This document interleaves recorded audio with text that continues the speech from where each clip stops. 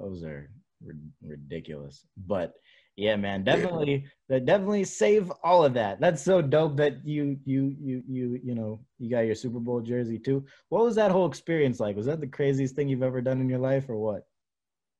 Bro, so crazy. Um, so my whole experience with that was more of um usually I go out to pregame, you know, work out, warm up, run around. You know, you always see guys on TV, you know, throwing the ball around, whatever. I didn't even go. I didn't even go out to pregame. Um, I didn't want to like, what do they call it? Like they tell us to simmer, you know, for for like prime time games and night games. You know, you want your energy level to simmer. You don't want to peak too fast. So I didn't want to go out in pregame and see all the crazy stuff craziness going on, and then I peak because I'm excited.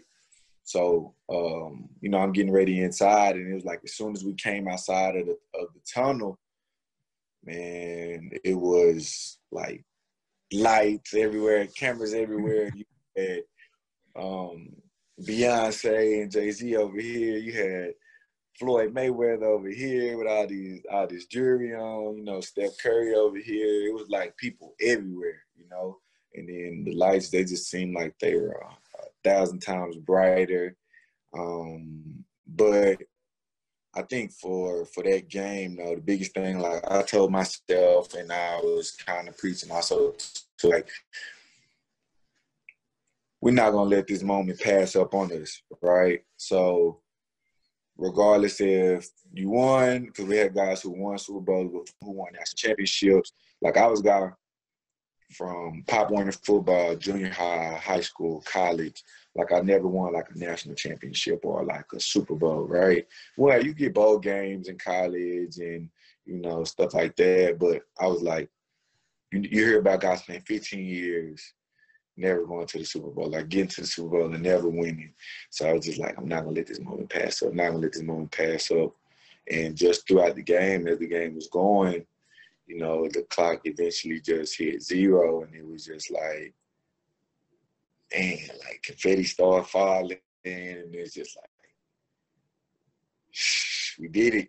And then I remember kind of like going into my locker and like just like feeling feeling exhausted, but like completed, but then like also like incomplete because now it's just like, all right, I'm tired. We did that. We won.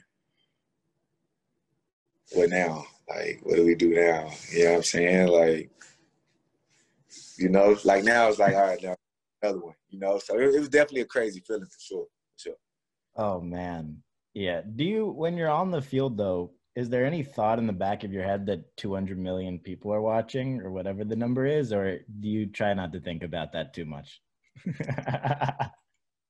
yeah, I think I think um, I'm so used to it now like in high school, I remember high school my senior year, we played like a, um, I think like a district game or something like that.